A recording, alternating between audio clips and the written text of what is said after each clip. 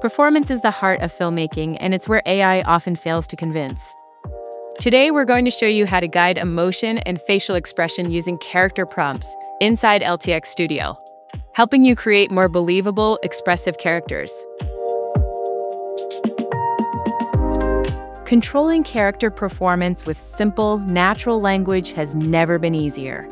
To adjust your character's expression, simply include it in your prompt. Distraught expression, slight smirk, stunned eyes glazed. You can be subtle or exaggerated. The model responds well to both. You can even direct eye and head movement for added control. To change the expression of an existing character, add them as an image reference, then describe the desired emotion in your prompt. And this isn't just useful for a stills workflow. Giving your characters clear expressions can help video models interpret the emotion of a scene, leading to more realistic, believable performances from the first frame.